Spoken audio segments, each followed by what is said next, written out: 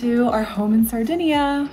We are in the northern part of the island in a little town called Cannigione, and it's a cute little villa that has uh, three apartments in it, and we are in the largest apartment with three bedrooms. So let's take a look inside. So when you walk in, you're immediately in the living area. It's like the living room. We haven't much spent much time in this room because, as you can see, we have this gorgeous view of the port. So most of her time has been outside on this patio. It has 180 degree views, perfect view of like the blue Mediterranean Sea. The sun rises over there in the east and it sets behind us. And um, there's also this beautiful pool here. So we've just been enjoying quality time here with our parents and it's, uh, it's just breathtaking. And here's a little foosball table that we've been playing some games at. It's been really fun to play with their parents. It's, it's actually very sweet. I, I didn't know my parents could play foosball actually, and that your dad was so good. He's great. Okay, next let's go see the kitchen. So the kitchen is over here and it's very charming and um, so cute. So I love the tiles here with the different colors. You've got this antique stove um, with like I don't know how to use burner, but it's, it's really pretty. I love this wall as well. You've got um, pots and pans that are made of copper. It's like an assortment of, of all these different shapes. And then you've got um, some ceramics up there. I love the wood uh, beams that go across the ceiling.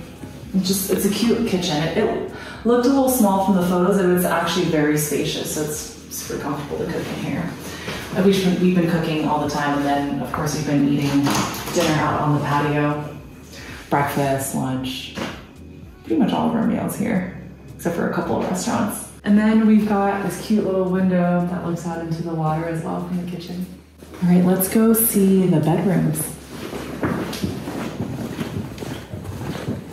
Okay, so there's a little nook area with a pull-out bed. Of course, no one has been using it because um, we have three bedrooms and we have Dan and me, my parents, and Dan's dad. And so all the bedrooms are occupied. Um, but there's a little cute library here with some books. And uh, let's go see what the bedrooms are like. And this is the room that Dan and I are staying in. It's got a little desk, no smoking. And here's the bed with really beautiful um, sculpture. And uh, here is our balcony. Let's check that out. Beautiful. Hi, sweetie. Hi. You're so cute. And moving on, this is a little closet area. A nice view of the yard. That just that's just amazing. And um, the in-suite bathroom. We've got a little vanity here, bidet, and a jacuzzi. This is the room my parents are staying in. Beautiful view of the mountains, as you can see. A little bit of an ocean view. Wow got this little window, I think that's storage up there, and a beautiful walk-in bathroom. Full standing shower, double vanity. Oh yeah, that's awesome. It's beautiful. Here's a third bedroom.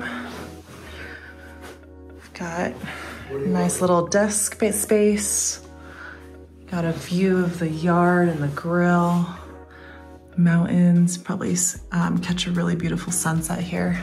And it has a walk-in bathroom, luggage rack. It's pretty cute. Bidet, standing shower, and a little vanity. Hi, cutie. Hi. You're so sweet. So that's pretty much the living area in the house. And oh, I did want to say that we learned that this house was built from scratch in 2002. So it's about 21 years old. And um, the construction looks really nice. It's, it feels really solid and it, feels like it's older than 21, but um, I think that's part of the charm. Just, it's so rustic and um, chic. All right, let's go take a look at the gardens outside.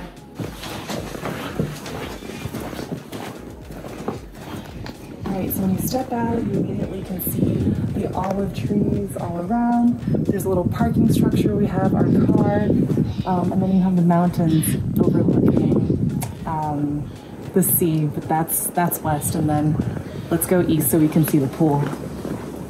So the windows from the living room. This is the view from Dan's dad's room, my parents' room, and of course we have the most beautiful view over here.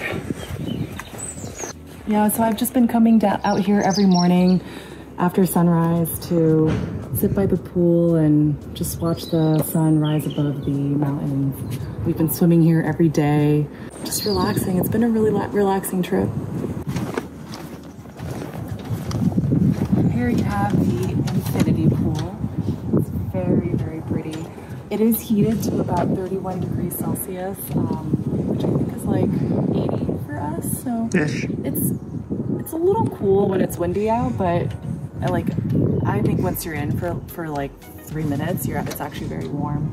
Um, we do cover it in the evenings to try to conserve energy, but it's it's just really nice to to um, to go for a swim during the day.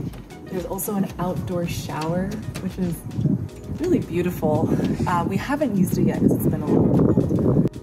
We should use that actually instead of running all the way upstairs. like, might as well. Um, and I love the lantanas on the side.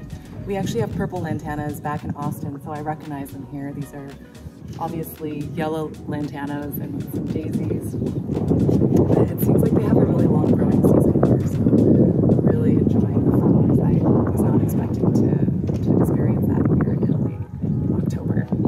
We've really enjoyed our quality time out here with, family and just at the end of our trip after traveling Rome, Florence, um, or we have Tuscany, like to be in Sardinia for three uh, full days on the north coast and just to relax. It's it's been the perfect way to end the trip.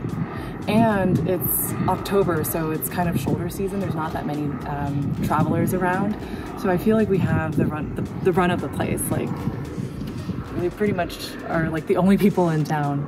Um, but it's yeah, it's just so beautiful to be out here.